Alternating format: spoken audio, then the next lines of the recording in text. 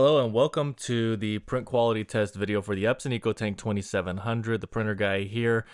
And what I'm doing here is essentially printing off some regular documents and then I'm going to get into printing off some photos. If this video ends up being helpful, please make sure to like. Any questions at all, comment below. And if you want more content like this, please make sure to subscribe. The photos that I'm going to be printing, you're going to see the quality that this printer is able to produce when printing photos. That's the best way I know how to test the print quality on a printer. Now, of course, we want to see how it prints a regular document. This printer, unfortunately, does not do double-sided printing, so these are all going to be single-sided pages that we're printing off. There will be some product links down in the description below if you're noticing low print quality you may want to check out the Best Printers Cleaning Kit. And if you were looking to buy this printer, there's going to be a link for it and a link for some remanufactured ink that's going to be a lot less expensive than the OEM.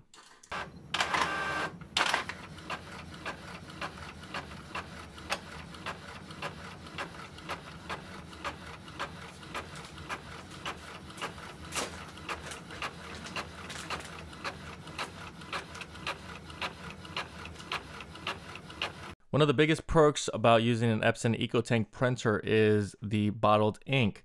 And when you go the remanufactured route, you double those savings essentially.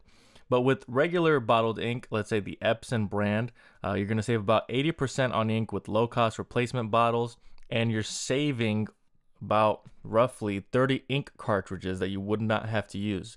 The amount of ink, because you're able to print 6,500 pages black and 52 pages color that is the equivalent of about 30 ink cartridge sets. So a lot of savings there. And as I said, with using remanufactured ink, linked down in the description below, you can save a lot more than that.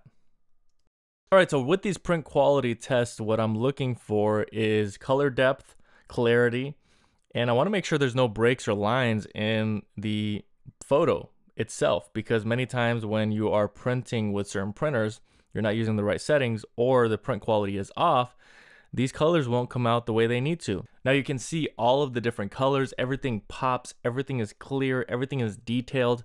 That's exactly what we want to see. I was very impressed with the print quality on this printer. I was not expecting this high of quality uh, to be produced from the Epson EcoTank 2700. But here we are. We have a high quality photo that we just printed.